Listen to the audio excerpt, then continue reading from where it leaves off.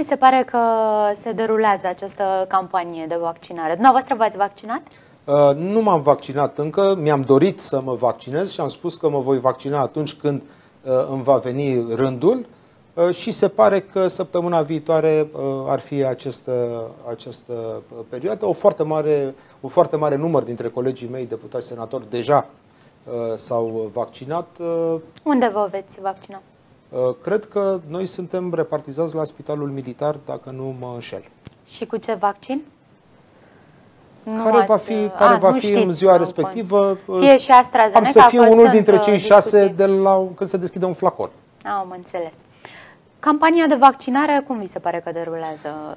E implicat uh, Ministrul Sănătății, așa cum ar trebui să se Sub implice nicio formă, un este o ministru luptă foarte mare. pentru această campanie? Nu, a- de fapt este o luptă foarte mare între uh, ministrul Voiculescu care ar vrea uh, să ia doar partea bună, adică uh, să raporteze uh, doar partea de succes uh, și uh, persoanele care sunt desemnate astăzi să conducă campania de vaccinare, uh, domnul doctor Gheorghiță, și se vede lucrul acesta și îl simțim cu toții, din păcate pentru noi.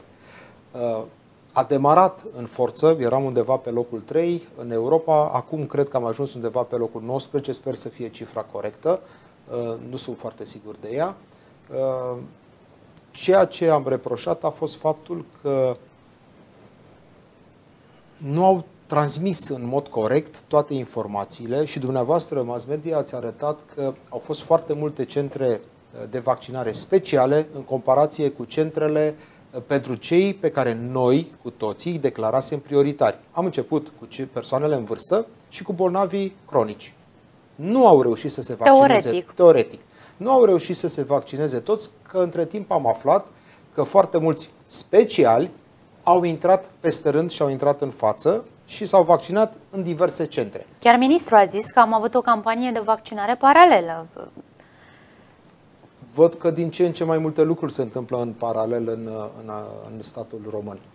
Uh, Dar, atunci când spui că ai o prioritate, ar trebui că ea să fie efectivă. Vorbeam despre profesori. În valul 2, în, în uh, campania de vaccinare, uh, nu au fost o prioritate profesorii. Au venit alte categorii sociale care au devenit uh, prioritare în ciuda celor care cu certitudine ar fi avut nevoie și unde ar fi existat consensul societății. Pentru profesori cu certitudine există acest consens al societății că ei trebuiau vaccinați cu prioritate, pentru că toți ne doream la acel moment să se redeschidă școlile. Din păcate, și folosesc acest din păcate prea des, n-aș vrea să-l folosesc, dar asta e realitatea pe care o trăim. Da, credeți că cifrele acestea zilnic, pe care ni le dau uh, cei de la grupul de comunicare strategică zilnic, sunt cele reale? Adică cunoaștem situația exact așa cum este ea în România? Nu știu. Nu știu și uh, sunt foarte curios dacă știe cineva cu certitudine lucrul acesta în România, uh, pentru că una transmite Ministrul Sănătății, alta transmite primul ministru, alta uh, transmit uh, celelalte persoane care ar trebui să comunice uh, cifre reale și în mod uh, uh, clar către uh, populație.